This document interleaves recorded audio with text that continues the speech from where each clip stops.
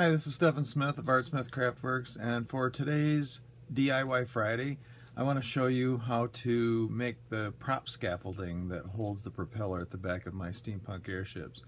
So, watch this. The first thing I start with when I make the scaffolding for the, the prop struts on the steampunk airships is I, I start with a couple of coffee stir sticks, not a couple, three to be precise and those are a good weight to uh, put on the side of the airship and support the, the propeller um, as it spins or when it spins on the back uh, of the airship. The second thing I do, and not always this way, yeah, it just depends on the styling of that particular uh, prop strut because they can be quite ornamental and nice looking. But for this one I've started with your simple uh, clothespins, just the wooden clothespins that you buy anywhere for a couple of bucks. And then I take the clothespin apart so that we basically have something like that. And I won't really use the spring for this, so I'll just uh, save that. I'm not going to throw that away. That, I mean, take a look at that. That looks like some kind of tubing coil or something that can be used on something else, right? Reuse everything. So when I get through with these pieces, I glue those to some of those coffee stir sticks and then something like this is what I have at the end of that. So they're glued and clamped with wood glue until the, the glue dries. And then once I have those, I can use a form that I made a long time ago for just this purpose and it gives me the, the basic shape of the prop scaffolding so that I can start to put that together. And then when I do that, I wind up with a centerpiece like this. And then on there, I glue two outside pieces like so. And I'll, and I'll cut these so that they set much more level than that. And I'll also add some of these cross pieces in here. Now maybe not all of those because I use that for when I just use the plain coffee stir sticks, but with using the clothespin pieces it's going to change the dynamics of it a little bit so I may modify what goes on here. Okay, so this is what the prop strut looks like with the little cross support pieces added and now that it's dry I can take it flip it over show you what it looks like on the back side and then what I'll do is drill holes here here and maybe here.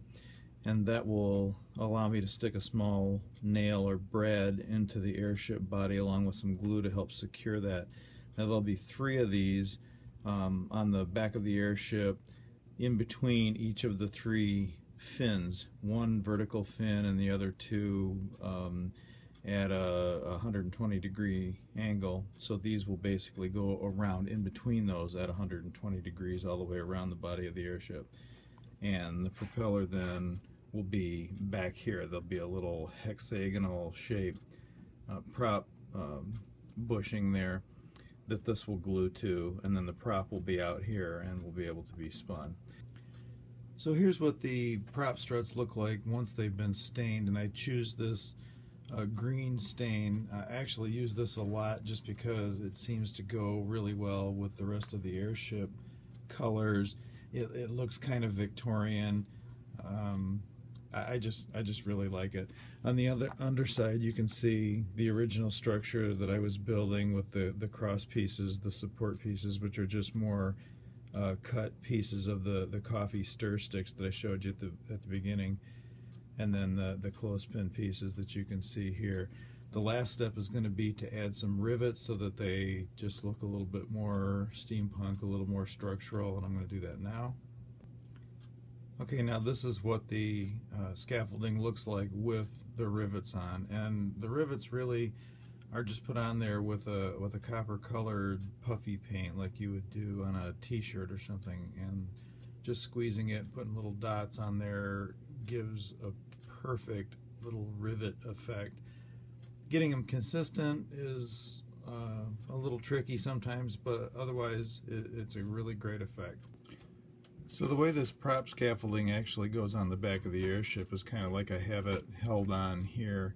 So there'll be like a little bit of a, a shaft here and that hub I was telling you about will be right here. Let me see if I can turn this just a little bit so you can see that a little bit better. And then that will mount to this down here. The three prongs on this end will actually get kind of attached to the to the ends of the airship. And like I said, in between the two um, the two the two fin areas here, and that's how that gets stuck on there. So that's how I build the prop strut for the back end of my steampunk airships. I'm Stephan Smith of Artsmith Craftworks, and this has been DIY Friday. Stay tuned for next week. I don't know what I'm going to do next week, but it's going to be good.